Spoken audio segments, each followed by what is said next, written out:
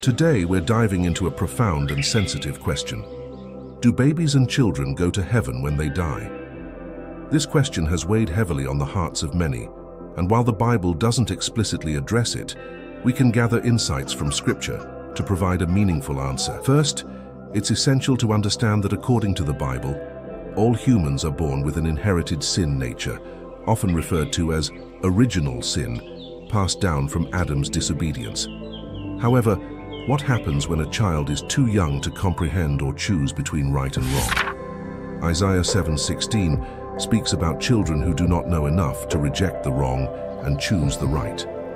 This raises a critical point. Can a child be held accountable for rejecting the gospel if they are incapable of understanding it? Many theologians believe that God's love and mercy extend to these innocent lives, granting them saving grace through Christ's atonement. In John 9, Jesus healed a man born blind and used this miracle to teach about spiritual sight. Jesus explained that if someone were truly blind, ignorant of the truth, they would not be guilty of sin. This principle suggests that God does not condemn those who are incapable of making an informed choice, including babies and young children. The Bible also provides comfort in passages like 2 Samuel 12:23, where David expresses hope of being reunited with his deceased child.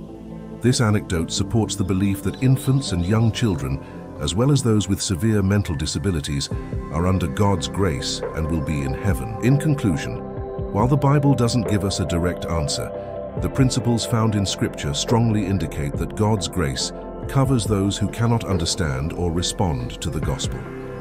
We trust in God's justice, mercy, and love, knowing He cares deeply for the innocent. If you found this video helpful, don't forget to like, subscribe and hit the notification bell for more insights into important questions of faith. Share your thoughts or questions in the comments below. We'd love to hear from you. Thank you for watching and may God bless you.